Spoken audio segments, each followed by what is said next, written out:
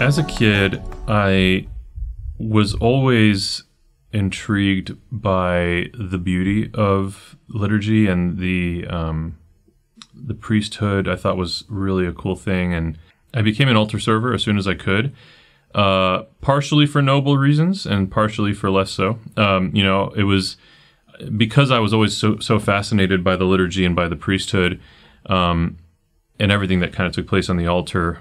Getting to be a part of that uh, was really interesting to me. But then also, as an altar server, you were able to get out of class for funerals and things like that to help serve in the liturgy. So, you know, when you're a kid, you know, you're going to get that. Uh, but I, I always, um, I won't say I always enjoyed the mass as a kid, but I definitely, um, there was like an air of mystery to it that I thought was really cool um, and and beautiful. Now, as an adult and a revert back to the faith, I have such a deep appreciation for the mass.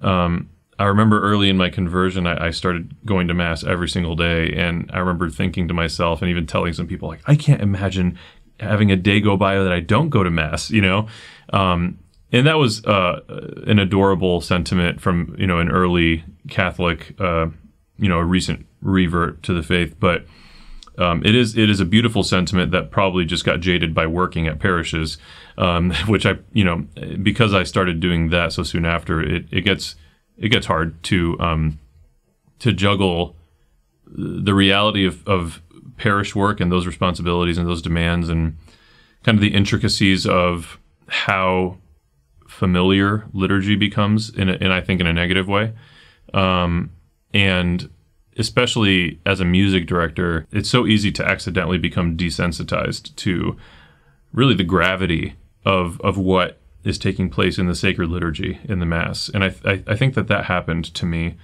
Um, I was always intentional about in my leading the music, uh, the musical parts of the prayer in the mass. I I was always trying to really pray myself. Uh, you know, like sometimes people would comment like that that there was something different about when I would lead the music for mass versus others. And I really think that the, the primary difference was that I was trying to always be conscious of the prayer. Um, where I got pulled out of that would be when having to be on top of logistical things or whatever. Um, but sometimes the prayer itself would get in the way of those logistical things. I remember one mass, uh, I was just so in the zone during the consecration. Um, and I was just I was just there. And eventually the priest is holding up the blessed sacrament, the recently consecrated Jesus Christ in in the Eucharistic form. And he's just holding it there. He looks over at me like, "You gonna you gonna start the holy, holy, holy thing? like, or not holy, holy? It would have been the the great amen at that point. You gonna start the great amen?" And uh, I was like, "Oh yeah!" And I quickly got up from my knees and sat at the piano and did it. Um, he didn't say it out loud, but he looked over at me like, "Hello." The mass should be that. You know, it should be something that just completely engrosses you.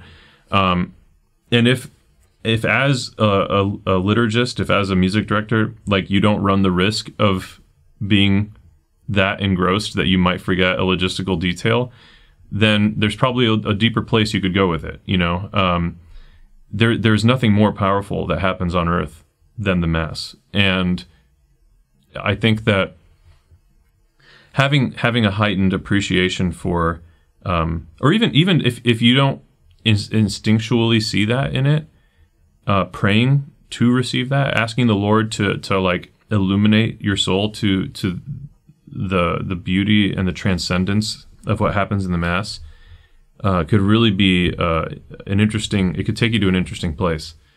Um, you know, one of the ways that I just described what happens at the mass to some of my students early on was um, that it's like spiritual time and space travel. You know, like when when we're kneeling during the consecration, like we're literally being taken on a spiritual level to the foot of the cross, um, and and we're there.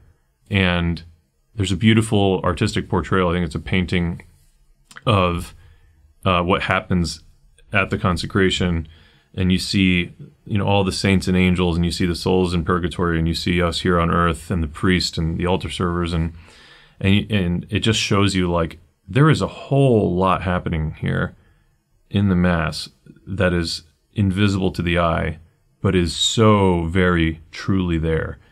Um, and I think approaching the mass with that air of mystery and that air of like there there's something truly awesome happening here that I'm only scratching the surface on. Like that's that's the way to go into a mass.